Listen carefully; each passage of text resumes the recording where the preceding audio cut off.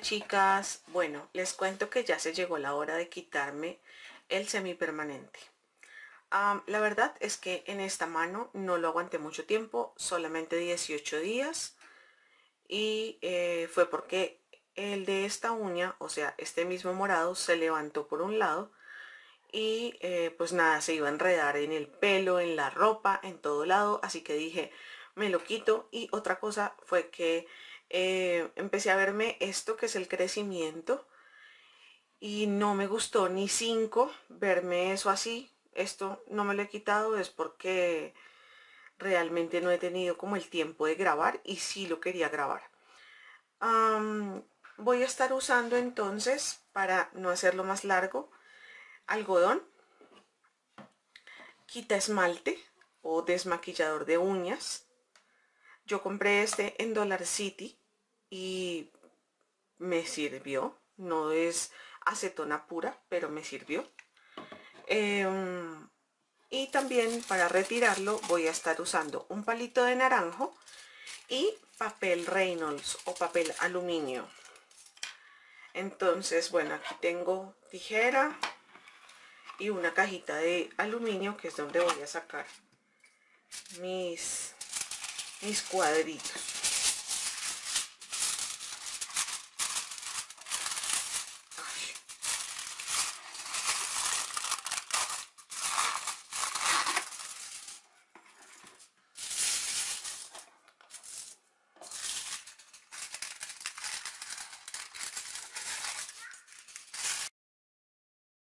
y con las manos voy separando algodón como del tamaño de la uña, no tiene que ser exacto y lo que voy a hacer es eh, mojar el, algodón con el kit esmalte. Voy a empezar aquí por la más chiquitita entonces lo pongo en la uña. Y con el papel aluminio lo que hago es abrazar ese, ese algodón. Y me di cuenta que si lo doblo acá por debajo hace como mejor presión y puede trabajar el, el algodoncito con el quita esmalte esto lo dejo 15 minutos 20 y ya puedo retirar el esmalte. Quiero aprovechar para recordarte que si vas donde un profesional eh, en esmalte semipermanente, en uñas acrílicas y todo eso, van a usar productos completamente adecuados para esto. Yo improvisé bajo mi propia responsabilidad, pero eh, no te aconsejo que lo hagas en casa. Esto no es un tutorial. Así que, eh, bueno, aquí esperando y mientras espero, quiero agradecerles a todas las que comentaron en el video pasado porque me dieron unos tips geniales y eh, sobre todo aprendí mucho de quienes me dijeron que para que no doliera debían curar el esmalte. Yo no sé ni siquiera cómo se hace, pero me parece valiosísimo saberlo. Bueno, también entre los comentarios, Astrid Mirke me dejó un comentario que donde ella me contaba que ella lo que está haciendo es usar láminas. Yo no conocía las láminas, pero miren, ella me dijo eh, dónde comprarlas y todo y ya compré.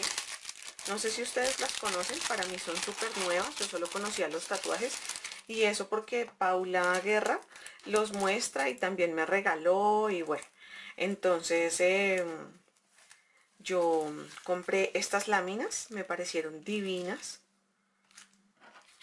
y, son las que me recomendó Astrid y están espectaculares, bombi, divinas, no, listo, los voy a retirar.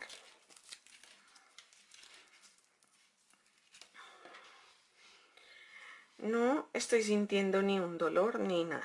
Y lo que estoy haciendo ahora es con un palito de naranjo eh, empezar como a rasparlo para que vaya saliendo. No tengo una paleta de esas de metal y la verdad me da mucho miedo mandarle a la uña algo de metal ahí, como que hacerle mucha fuerza, más de la que se debe, no sé. Entonces, bueno, lo estoy haciendo así. Les quiero contar que después de pasar el palito de naranjo, queda un poquitico de residuo y lo que hice fue con la uña de la otra mano pasarla por encima así como se está viendo ahí y fantástico, fantabuloso, todo salió. Ahora lo que voy a hacer es hacerme como una mascarillita con aceite de uva que me está encantando. Lo adoro. También voy a usar cápsulas de vitamina E. Vamos a mezclar esto en un platico, en una coquita donde tú puedas. Eh, le voy a poner aceite de jojoba también.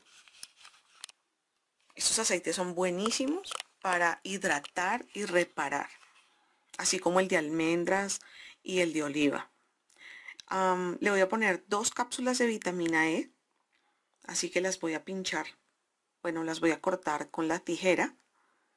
Mezclo todo y eso lo vamos a poner en las cutículas.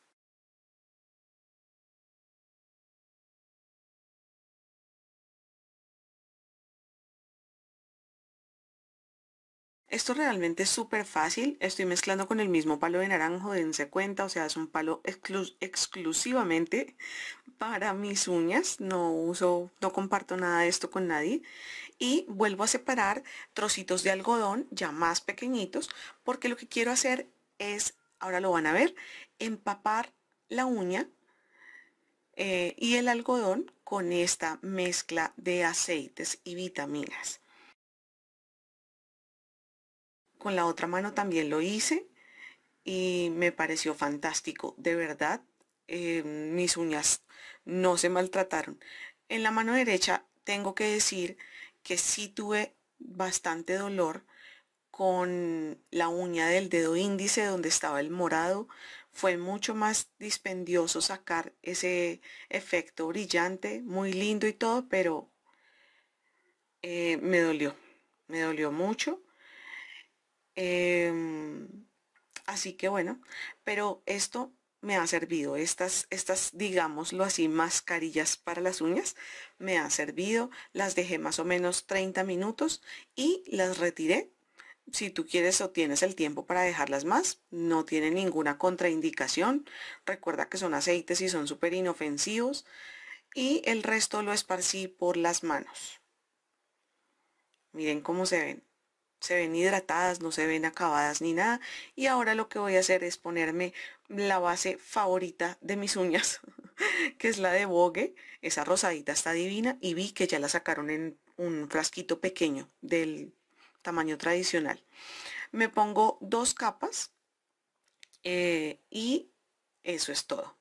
Dejo descansar las uñas una semana, voy a dejarlas descansar una o una y media y listo. Espero que les haya gustado. Me encantó compartirles mi experiencia con el semipermanente. Creo que no todas eh, tenemos la misma experiencia y está súper bien.